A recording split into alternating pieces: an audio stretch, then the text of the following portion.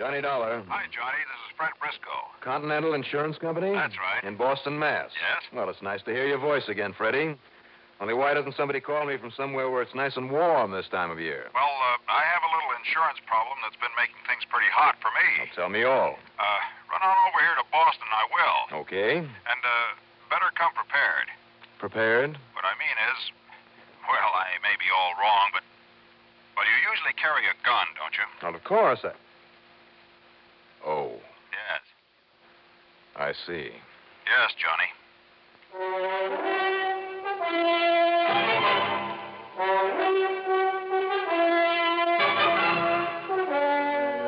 CBS Radio brings you Bob Readick in the exciting adventures of the man with the action packed expense account, America's fabulous freelance insurance investigator. Yours truly, Johnny Dollar.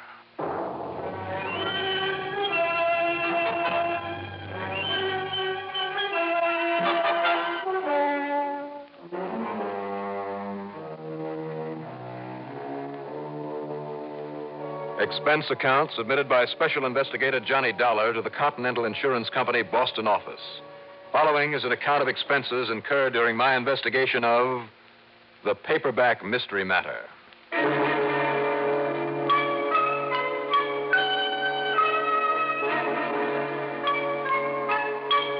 I decided it might be smart to have my own car along, so expense account item one is 420 for a tank full of gas. And less than four hours after I talked with Fred Briscoe on the phone, I was in his office on Commonwealth Avenue there in Boston. And then, over a lunch at the famous old Union Oyster House. Is that another half dozen on the half shell, Johnny? Were you kidding? But I sure love the seafood in this town of yours. Who doesn't? Ah, but I certainly wish Mr. Gerson would get here. I ought to be back at the office. Gerson, that's your client? Yes, Henry R. Gerson. He wants to tell you all about his worries himself. And I'm sure the only reason he insisted on meeting us here was to cadge a free lunch. Oh, that kind, huh? Johnny, that old crook is worth millions. Though you'd never know it by the way he lives and dresses, by that ramshackle old apartment he lives in. You said crook? I did. Every penny that old miser ever got hold of, and still has for the most part, came from some dirty deal that he put over on somebody, which makes him one of the most hated people I've ever known. And just as soon as he made a new friend, he'd proceed to take him, but royally. A real nice guy, huh? Hmm. What sort of deals does he make? Well, he doesn't anymore. The last 10 or 15 years, he just sat around counting his money and gloating over the fact that he can keep a couple of poor, resentful nephews and niece from getting their hands on it until he dies. And they're Gerson's heirs. Only because they're his only living relatives. And they're poor. Yes. And, uh, well, I'm afraid I'll have to admit that they deserve to be. Up until their parents died and left them with no money, no nothing, Jerry and Paul had planned to study for the ministry. But now, Mr. Gerson tells me that they're just drifters. One job after another, and never on a job long enough to pay their bills. They live in Syracuse, New York. Just waiting for the old man to die. Right. So he has no use for them. And the niece? Her name is Nancy Trimmer. Lives here in town. Works as a checker at one of the supermarkets when they don't catch her shortchanging the customers. And I guess she'd just as lief help the old man into his grave as the other two. Nice people. Yeah. But no worse than Gerson himself. So he's worried that one of them may try to knock him off. Yeah, that's it, John. Oh, here he comes. Don't let on to him that I told you anything at all about I the. thought I told you that I'd tell him. Oh, hello there, Mr. Gerson. So you're Johnny Dollar, eh? That's right, Mr. Gerson. Well, you don't look like much to me. And you think you can keep those worthless young relatives of mine from murdering me to get their hands on my money? Well, suppose you sit down, sir, and tell me what makes you think they might try it. Think? I know it. I've got proof of it. All the proof I need. Oh, what kind of proof? Go do you- on, move over, Briscoe, and let me sit down. Oh, uh, certainly, sir. The least that insurance company of yours can do is to buy me a square meal. Why, of course, I'd be glad to. After all, I give the company over a thousand a year in premiums on my life insurance, don't I? Uh, something like that. Eleven hundred and twenty-four dollars and twelve cents every year. And the only reason I haven't tried to cash it in is because you'd give me back less than half of what I put into it. Well, now that isn't quite all right, true, all Mr. right, let it go. Uh, what's the face value of the policy, Fred? Uh, forty-seven thousand, double indemnity. And if those crooked nephews of mine get away with whatever they're up to, that's the way it'll get paid to them, double. But if you're leaving them the rest of your estate. What? Well, this insurance money is only a drop in the bucket. Oh, it is, huh? Well, you know something? I'd commit suicide just to cut them out of it. You hear me? And have all those $1,100 premiums paid out for nothing? Hey? I take it there is the usual suicide clause in the policy? Yes. All right, all right. We've been all over that now. The thing you got to do, Dollar, is to keep me from getting murdered. Uh, now, wait just a minute. Yeah, Now, yeah. You talk about uh, being perfectly willing to commit suicide. That's right. And yet you sit here and demand protection to keep you alive. Now, that doesn't make sense, does it? Don't you get smart now. Wait till I tell you what's been going on. I suppose you do. Well, later, later, later, after I get some food in me. Waiter, waiter, bring me a menu.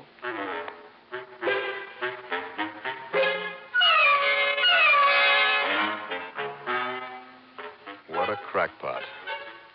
And he packed away the food as though it were to be his last meal on earth. And he refused to talk further about his problem until he was finished and the bill was paid. By Fred Briscoe, of course. Even then, when I asked him once more about whatever it was that had him worried, Here, in a public place like this? Well, where everybody in town might hear me? you think they don't now? What's that? What did you say? Uh, nothing, nothing. You think I want to stay around here in town with my life in danger? I'm going to take you out to my place where I'm safe. You got any objection? Whatever you say, Mr. Gerson.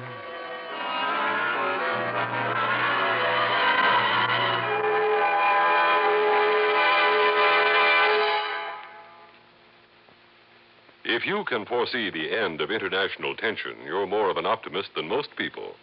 It's understandable that all of our citizens like to keep in touch with latest global developments. CBS News, meeting this American need to know, has expanded its worldwide coverage for longer, stronger reports, reviews, and commentary. Expanded CBS News on CBS Radio. The first word in speed, the last word for accuracy, daily at this address.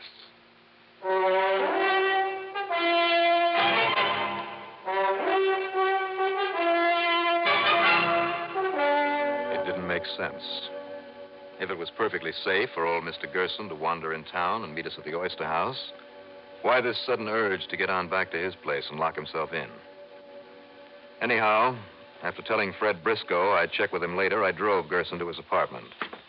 It was in a wholly undesirable section that I hadn't even known existed. Are there railroad tracks out in back of this place? What's the matter with you? Can't you hear? Well, if you'll pardon me for saying it, Mr. Gerson, yes, well, I got the idea from Fred that you were pretty well off. I am. Of course I am. Yet you live in a dingy place like this, in a neighborhood like this? Is there any reason why I shouldn't? Waste not, want not is my rule. Sure, I got money, plenty of it. A couple of million, if you want to know. That's no reason I got to throw it away on high living, is it? Two locks on the door? That's right. And double locks on the windows. I put them on myself. Even nailed up the transom there over the door. As long as I'm here, I'm safe. You sure are. I got plenty of food in there. And if I run out of it before you can put a stop to all this nonsense, well, you can bring me some more. Well, now, you still haven't told me. All right, all right. Sit down, Dollar, now. I'll tell you why I know that one of my nephews, or maybe it's my niece, why one of them is going to try and kill me. And just to get their dirty hands on my money. Uh, you, you sit on the chair now. I'll sit on the bed. Well, Look. Ah, look here. If these aren't proof, if these warnings aren't proof they're going to kill me, I'd like to know what it is. Philippians 2.12. Yes, that's from the Bible. You know your Bible? Well, I'm afraid I don't recognize that part. Well, I looked it up. And you know what it says in that chapter and verse? It says, work out your own salvation. Well, I'd hardly call that a threat. I would. And the second one came in the mail. Same neat kind of typing. No name signed on them. Where were they mailed from? Over in Syracuse, New York, where my nephews live. And look at this one Isaiah 38 1. That's 38 chapter, first verse. Set thine house in order. I thought you didn't know the Bible. Well, I remember that because it was used in a threatening letter a few years ago out in Chicago. So, you see, you see what I mean? And this one, Revelations 2.10, says, Be thou faithful unto death. So I should be faithful to them, eh? Huh? Keep my promise to leave them all I got, huh? Mr. Gerson, And this one, Romans 6.23. the wages of sin is death. That's right. Sin just because I, uh, I I let 'em starve a bit when their folks died and they didn't have anybody to turn to. And you didn't give them any help? Why should I? Couldn't they get out and use their brains the way I had to? You won't get any help from me. Not while I'm alive. But you're still keeping them in your will. What's the matter with you? Don't you see? That's what they've got me. They're all the relatives I got. If I don't will it, then the state will give it to 'em anyhow. There's nothing to keep you from giving your money to charity. Charity, me, not on your life. So I gotta leave it to them. But I'm not going to let one of them kill me. Not i- if you can help it. You see what I mean? Yeah, I guess so. Yeah, that's what you're getting paid for, isn't it? Yeah. Listen, boy, now either you lock up those rotten kids and throw a scare in them that'll keep them from murdering me, or else you've gotta stay here and protect me. Now, wait a minute. These quotations from the Bible. I tell you, they're threats. That's as plain as, as the nose on your face. Didn't Fred say that one of the boys had planned to study for the ministry? The ministry, fooey. What boy in his right mind would ever spend his whole life? Sure. Sure. That proves the notes came from one of those boys. Which one? Well, how should I know? They both had that crazy preacher idea up till the folks died off. Well, then I guess I'd better look him up.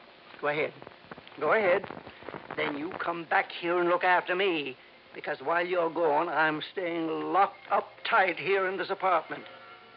You do that.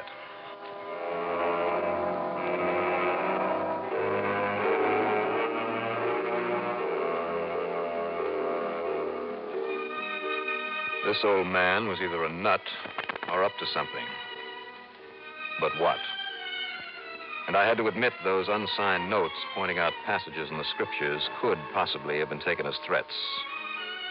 And since both the nephews had planned to study for the ministry, but first I called on the niece, Nancy Trimmer, because I hoped that she'd know enough about the nephews to be able to tell me if her suspicion about them was justified.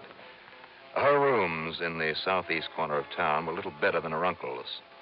And most of our conversation, uh, her conversation, took place in the kitchen. Now, look, are you from the parole, Mr. Uh, what'd you say your name is? A dollar, Johnny Dollar. Yeah, well, just leave me alone, see? So maybe I did make a little mistake helping myself to some of the groceries in that job I had before. Uh, Miss Trimmer. But this new job, I'm playing it straight and I'm keeping my skirts clean. Yes, I'm sure you are. See, that's a laugh, keeping your skirts clean, sweeping out the back end of a warehouse. Look, what I mean is, why don't you guys leave me alone, huh? Why you gotta come around here checking up on me? But I'm not. Persecution, that... What do you mean you're not? I represent your Uncle Henry's insurance company. Oh, yeah? Well, I don't want any insurance, so get out of here and leave me cook my supper. Uh, not even his insurance? If he dies? What's that? I said. Hey, sure. Me, I'll grab anything I can of that old skinflint's insurance or anything else I can get my hands on. So, uh, maybe you got some idea how to make him die real quick? Well, apparently somebody has. He's been getting threats against his life. Yeah? Well, I hope whoever it is means it. You know who's doing it? No, not yet. That's why I'd like to ask you some questions. Yeah? What about? About your cousins, Jerry and Paul. Listen, you want to know anything about them, you look them up in Syracuse, New York. Ask them and leave me alone so as I can fix my supper and. Yeah, then curl up with a book and improve my mind, just like Paul and Jerry always said I ought to. Now, look, Miss Trimmer. Those preachers, huh? Well, the only preaching I ever got from them was I ought to read up and educate myself. Well, maybe that's not such a bad idea. Oh, yeah? You think I don't read? I read a lot. You see 'em in there? All those books? You mean all these paperbacks? So what's the matter with reading that stuff? You want to know the truth? The only reason I sit around here with them every night is account I can't afford to buy a lot of fancy clothes and be out on the town with a lot of fancy sports like you. Miss Trimmer, if you'll stop talking well, for a I minute. I don't like sports like you anyhow. All I like is me, see? I like my company better. So if you'll just get out of here and leave me alone. Then you're not interested in the threats against your uncle? Not unless somebody carries them out. Now will you leave me alone?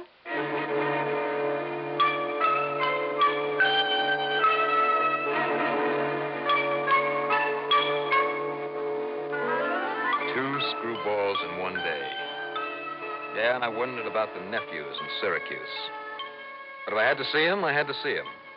Item two, ten cents for a phone call to Fred Briscoe.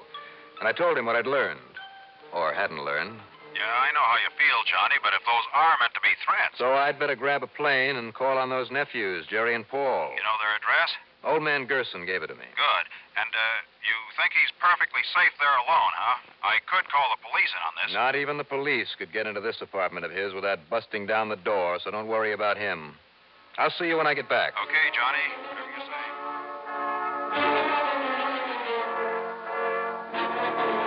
You know something?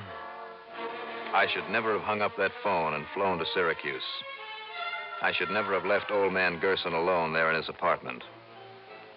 Don't worry about him, man. Probably the wrongest thing I ever said in my life.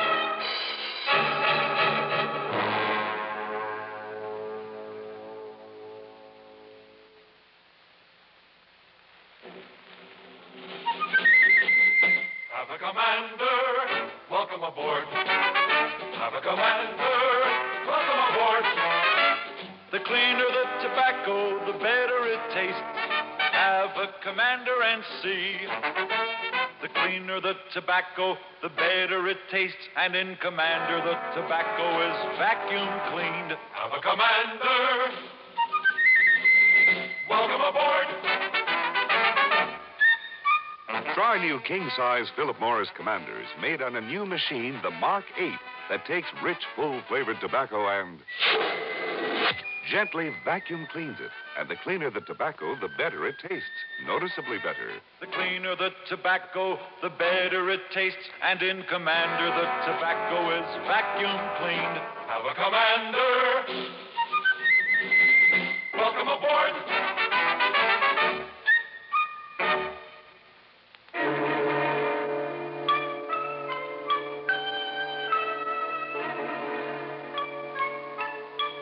Item three, 95 cents for a cheese sandwich and a cup of coffee at the Logan International Airport. That was my dinner. Item four, 1990, plane fare to Syracuse.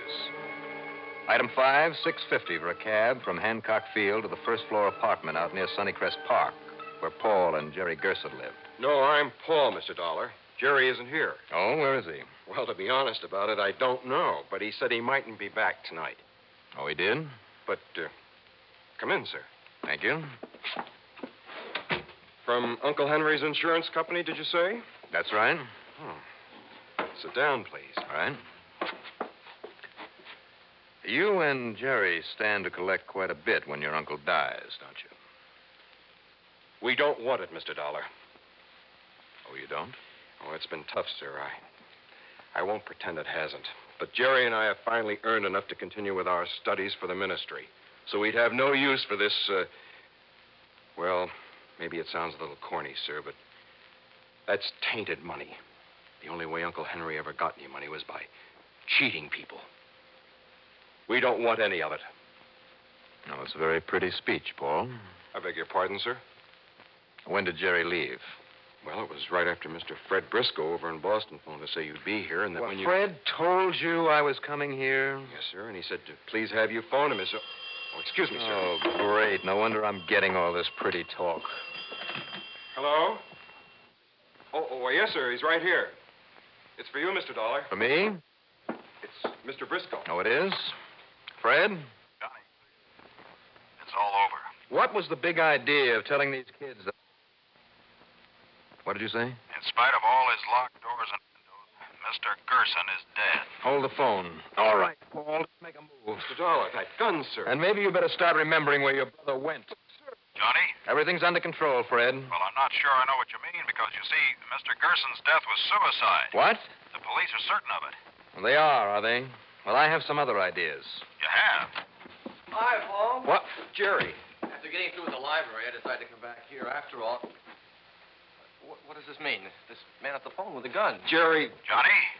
You have some other ideas? Maybe so. Maybe no.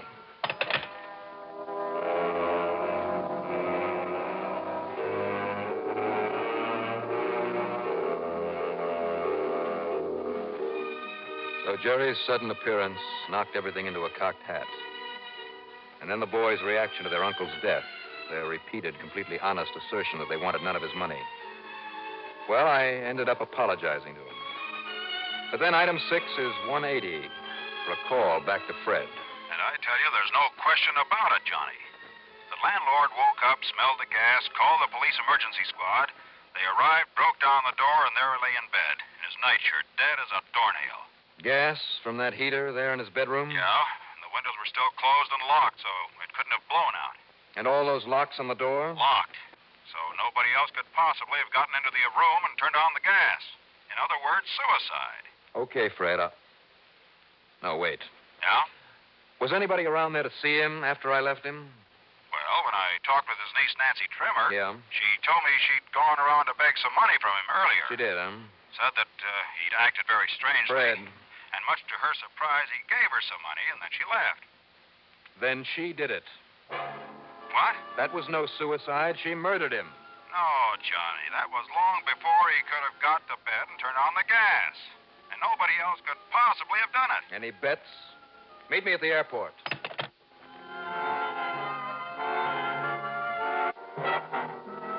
Item seven is twenty-six forty for a cab, Hancock Field, plane fare, back to Boston. All because of those paperbacks that I'd seen strewn around her apartment. Fred met me at Logan International. It was shortly after dawn. And then, a few minutes later, Coming, coming. Just leave me get a robe on. Oh, you. Hey, wait a minute. here it is, Fred. Look. Big idea coming in here like Johnny, that. here's what? This mystery magazine. I saw it when I came in here before. Jack Johnstone writes for it now and then. Johnstone? The man who dramatizes all these cases of mine. And here, here's his story in it Death by Jet. Listen, you mind telling me what you're Death by jet? Nancy here didn't know that I'm a special investigator. But my talk about her uncle's money she'd get reminded her of this story. She figured this was the answer, so why waste time? Let me have that magazine. Sure, sure. Go ahead, tear it up. It's too late now. Johnny, I'm afraid I still don't That understand. That story, Death by Jet, that means a gas jet. Huh? Another of those locked room mysteries. And it gave her the idea for killing her uncle without getting caught. Or so she thought. You don't know what you're talking about. But what kind of an idea? In the basement of that dingy building where he lived. She got in there and turned off the gas line to his apartment. Now, listen. Then she went on upstairs to see him. When he wasn't looking, she opened the valve on that gas heater in the bedroom. You're crazy. And then she left and waited until he had time to get to sleep. The whole procedure is in that story. I get it. When he was asleep, she went back to the basement. Right. And reopened the gas line. And if we check, I think we'll find she didn't have sense enough to wipe her fingerprints off that valve down there. Oh, yeah? Well, that's where you're wrong, because I did wipe them off. I wiped them off so clean that neither you or any. Buddy, else. Yeah. Want to call the police, Fred?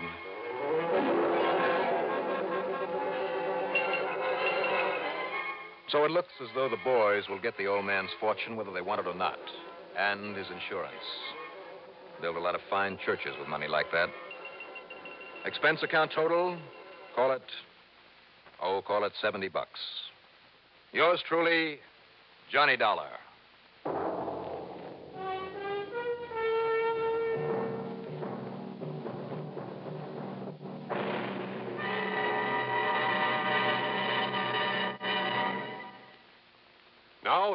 Our star to tell you about next week's story. Next week, proof that a man's best laid plans can really go awry. Join us, won't you? Yours truly, Johnny Dollar.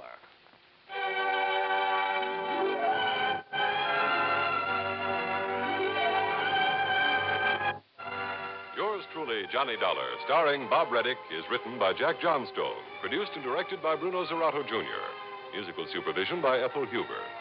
Heard in our cast were Edgar Stehli as Mr. Gerson, Terri Keane as Nancy Trimmer, Ralph Camargo as Fred Briscoe, John Thomas as Paul, Richard Holland as Jerry. Be sure to join us next week, same time and station, for another exciting story of Yours truly, Johnny Dollar. This is Art Hanna speaking.